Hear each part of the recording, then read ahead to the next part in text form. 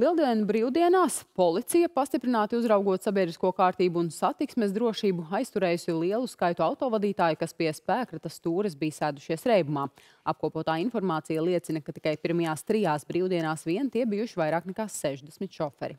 Par reidos atklāto satiksmes pārkāpumu raksturu un lielo skaitu mēs vairāk jautāsim valsts policijas satiksmes drošības pārvaldes priekšnieku vietniekam Ārturam Smilgam. Labrīt! Labrīt! Labrīt! Sakiet, lūdzu, vai jums ir svaigākie dati par visām lieldienu brīvdienām, jo, kā mēs esam runājuši, tiešām pirmās trīs dienas jau bija ar tādiem nepatīkamiem rekordiem, vai vakardienas datus arī varat um, tur minēt klāt? Jā, tātad tiešām šīs brīvdienas pagājušas diezgan saspringti mums. Ja runājam par šiem transporta līdzekļu vadītājiem, kuri sēdušies pie stūras alkohola vai narkotisko vielu reitumā, tad kopumā četrās brīvdienās fiksēti 78 šādi gadījumi. 70 gadījumos tas bija alkohola reibums un vēl 7 gadījumos tas bija narkotisko vielu reibums. Uh -huh. 70 un 7. Jūs teicāt kopā 78. Tad droši vien... 78 kopā, jā. Uh -huh. Ja tā salīdzinām ar pagājušo gadu, tad uh, par tādu pašu periodu, par šīm te lieldienu brīvdienām, tie bija 79 uh, vadītāji, kas bija alkohola reibumā un, un vēl četri, kas bija narkotisko vielu reibumā. Tad situācija ir aptuveni tāda pati un neuzlabojās. Vienīgais, kas, eh, vienīgā atšķirības starp pagājušo gadu un šo gadu ir tāda, ka pagājušajā gadā bija aptuveni vairāk kā puse alkohola reibumā virs pusotras promils, tad šogad šis skaitlis ir samazinājies, no šiem te 70, kas bija pie stūras alkohola reibumā, uh, Tātad virs pusotras promils bija 30 gadījumos. 30 gadījumos.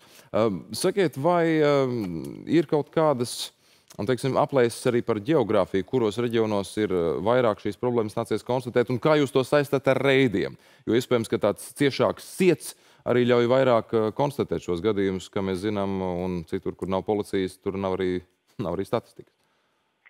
Jā, nu, visvairāk fiksēti šādi gadījumi Rīgā, bet jāsaprot arī to, ka Rīgā ir vairāk transporta līdzekļu un, un šī satika uzraudzība arī notiek tā teikt koncentrētāka uz, uz teritoriju, kā piemēram lauka reģionos.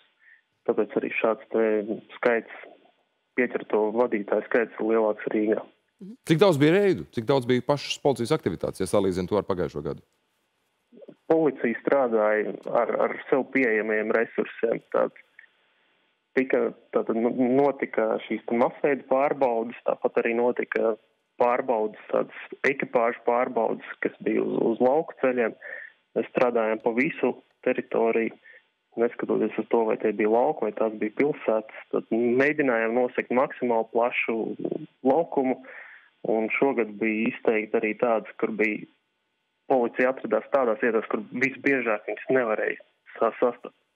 Mhm. Kā policija vispār skaidro šo statistiku? Kā jau minējāt, situācija arī attiecībā pret pagājušo gadu faktiski nav uzlabojusies par spīti tam, ka Pat pirms svētkiem daudz tiek runāts par to, ka policija būs un kontrolēs. Tik un tā atrodas eh, tik daudz autovadītāju, kas joprojām ir gatavi riskēt, vai varbūt domā, ka nu, jau viss alkohols ir izgājis. Eh, nu, runājot par tiem, kuriem varbūt tās eh, promils ir salīdzinoši mazākas. Vai ir vēl kādi instrumenti, ko jūs saredzat, kā to situāciju, kādā veidā to situāciju varētu uzlabot? Nu, šeit, šī gadījumā, es gribētu vairāk akcentēt to, ka šeit vajadzētu skatīties plašāk. Tas ne tikai par transporta līdzekļu vadīšanu alkohola reibumā, bet vispār par alkoholu patēriņu valstī. Pēc OECD datiem Latvija pasaulē pirmajā vietā pēc alkohola patēriņa uz, uz vienu cilvēku. Un līdz ar to man šķiet ir pilnīgi skaidrs, ka arī transporta līdzekļu vadītāju skaits, kas ir sēdušies alkohola reibumā, līdz ar to arī ir viena daļa no šiem cilvēkiem, kas ir šī statistikā. Tāpēc šeit vairāk būtu jāskatās nu, tieši vispār par alkoholu lietošanu valstī. Mums alkohols ir ļoti pieejams, mums alkohols ir, ir lēts, pie mums brauc al alkotūristi saucamie no Igaunijas, no Somijas iepirkties. Tāpēc nu, šeit būtu kur strādāt. Tāpat arī šis solis, kas bija pagājušā gada izskaņā par kriminalizēšanu, virs pusotras promils. Mēs jau tagad redzam, ka situācija ir uzlabojusies, tātad ir mazāk šo te lielo promiļu, bet tad konstatēto vadītāju skaits, kas ir pie stūra sēdušies alkohola reibumā, tāpat ir joprojām nepiedodam augsts.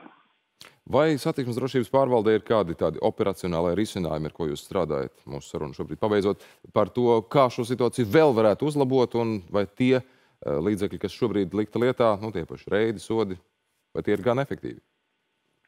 Nu, kā jau es minēju, tad uh, kriminalizēšana virs pusotras promils bija pirmais solis.